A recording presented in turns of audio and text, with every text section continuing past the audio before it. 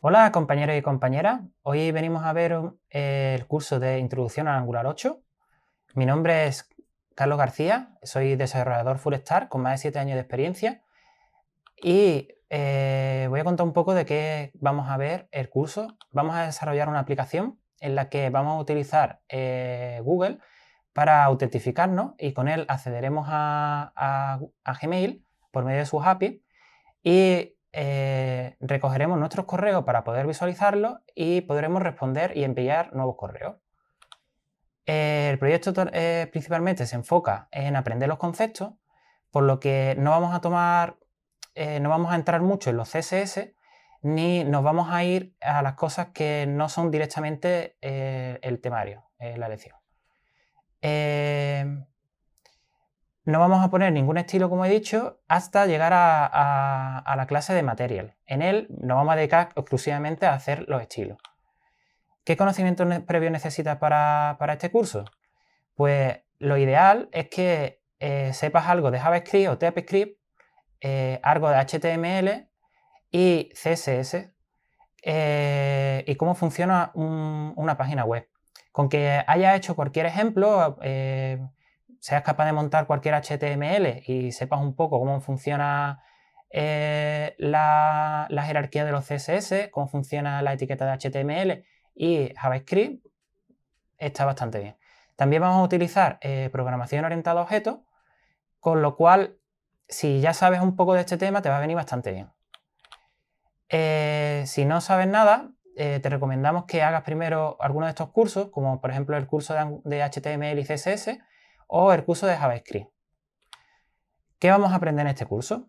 Pues en este curso vamos a aprender conceptos de HTML y CSS, eh, vamos a usar TypeScript de una forma muy básica, con lo cual aprenderemos un poco el funcionamiento general. Eh, vamos a hacer programación orientada a objetos, ya que TypeScript está orientado a objetos. Eh, aprenderemos conceptos de programación que no solo nos valdrán para Angular, sino para cualquier otro lenguaje que sea de este tipo o cualquier lenguaje orientado a objetos, eh, vamos a crear eh, una serie, una cosa que veremos después que sean componentes, que son partes de código que después podremos exportar a cualquier otro proyecto de Angular que hagamos más adelante. Eh, vamos a, también a trabajar con programación asíncrona, porque TypeScript y, y JavaScript es programación asíncrona, con lo cual algunos conceptos de programación asíncrona también veremos. El flujo de trabajo, eh, vamos a también aprender cómo funciona el flujo de trabajo a la hora de diseñar un, sitio web, eh, qué cosas hay que crear y cómo está hecho por dentro, eh, cómo funciona Angular 8 y cuáles son sus partes y para qué funcionan sus partes. Vamos a configurar una aplicación de Angular 8 y vamos a crear una aplicación web desde cero. ¿Cómo va a funcionar el curso? Pues hay clases prácticas y hay clases teóricas. Intentaremos mezclarla eh, todo lo máximo posible. Eh, ahora al principio vamos a, vamos a hacer una instalación de todas las cosas que vamos a necesitar y a continuación vamos a crear proyectos y ya podremos consultar código a partir de ese momento. Veremos un poco de teoría de introducción y después ya empezaremos con las clases de teoría y práctica. Teoría y práctica, en la que vayamos a ver cada uno de los conceptos y los pondremos en práctica justo después. Em, la parte práctica está subida en GitHub y tiene una estructura. ¿Qué estructura tiene? Pues para empezar tiene una rama que es la rama master, donde vamos a ver toda la evolución del curso. Eh, cada uno de los, temas del curso se va a, se guarda en una rama por separado, con lo cual podemos mm, después ir a ver qué hicimos en esa clase.